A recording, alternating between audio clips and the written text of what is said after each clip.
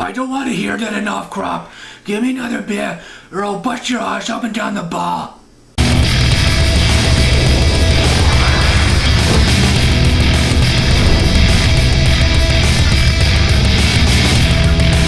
Suddenly, I feel like talking about Terminator Genisys again. I never thought I would do a spoiler review. The desire didn't hit me until recently. I will be dropping spoilers, so if you haven't seen the movie, don't watch it right now. If you're a Terminator fan, you might as well give Genisys a shot. Genisys has some homages to, to the first two movies, specifically the first one. The prologue is similar to Terminator 2's prologue. We see Judgment Day, we see the, the nukes blowing up the Earth. Sarah Connor narrated T2, Kyle Reese narrated this movie. When he started talking, I thought it was John Connor. Like I said before, Arnold Schwarzenegger is the best part of this movie. He didn't phone it in. There is a hilarious smiling running gag. While the first shot was lame, it was ruined by a robotic sound effect. Before the movie came out, I watched The Guardian Future Ready. That first shot was showing. Oddly enough, that sound effect was removed. Yeah, it was better. I, I didn't laugh, but um, it was still a wise decision. So I naturally assumed that sound effect wouldn't be in the movie, but no, it was still in there. I mean, what's going on here?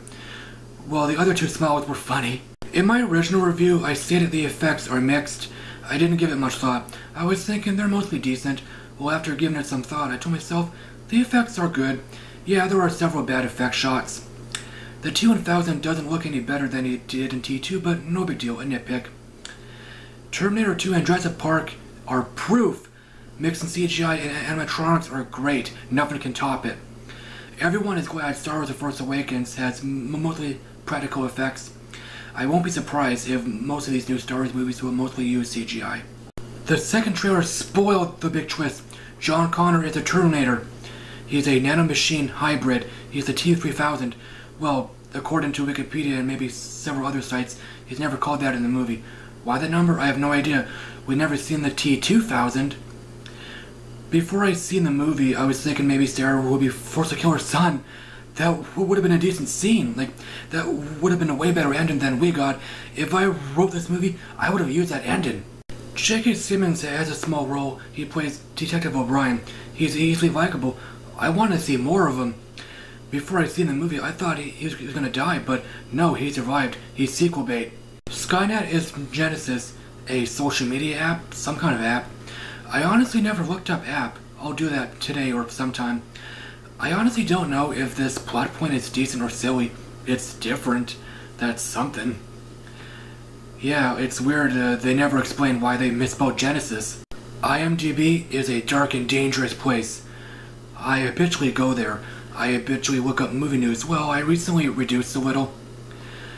I visited the Genisys IMDb page uh, a few days before the movie came out. I accidentally discovered two spoilers.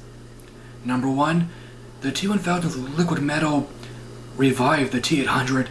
The second spoiler was about the end, and Arnold becomes the T-1000.